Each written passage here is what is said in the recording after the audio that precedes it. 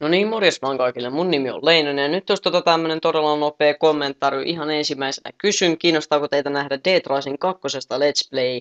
Eli se on tommonen hauska zombimättöpeli, minkä mä sain tuossa lauantaina. Ja tota, ajattelin, että jos mä tekisin siitä Let's Play joku parikymmentä vi- minsan viiva puolen tunnin episodeja pari kappaletta viikossa.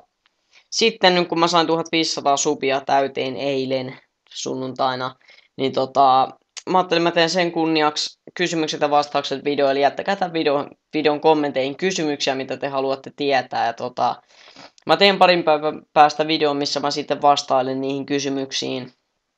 Ää, samat säännöt kuin livestreamissä, että ei, nyt, ei, niin kuin, että ei liian yksityisasioita, tai silloin niin kuin asiallisia kysymyksiä.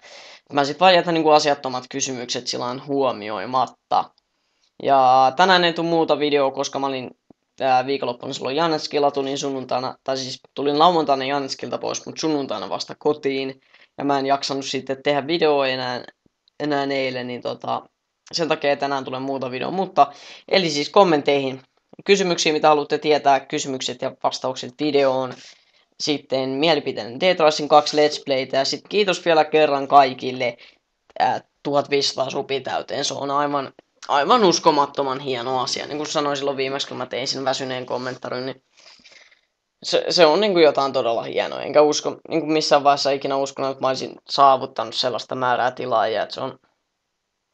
En, en mä voi sanoa, mä voi sanoa muuta kuin kiitos. Kiitos todella paljon kaikille ja Joo, ei mitään. Katsellaan seuraavassa videossa. Mä varmaan muuten myös live tänään iltapäivällä, niin nähdään toivon mukaan myös siellä. Morjes!